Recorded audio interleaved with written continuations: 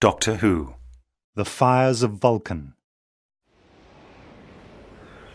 So this is it. The final journey. I had hoped for a while longer. Time to prepare. I wish you'd tell me what's wrong. Nothing's wrong, Mel. Quite the opposite. Events are proceeding precisely as I expected they should. And you say this doctor has changed since you met him? Oh, Hackley, you don't know the half of it. I was beginning to think he didn't need me anymore.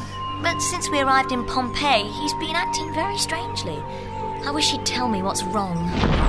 Look over there! Vesuvius. Is it not magnificent?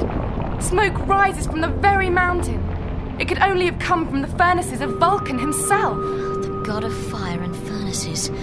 Can't we do something? Against nature? No. Against time? Certainly not. This happened a long time ago, Mel. We can't change it. I'm sorry, Doctor. I can't accept that. Please listen to me, Mel. You might think you know what's going to happen in the future, but all I know is that we aren't beaten yet. Mel. I'm going to find a way out of this, whatever it takes. But I can't give up, Doctor. Even if you can.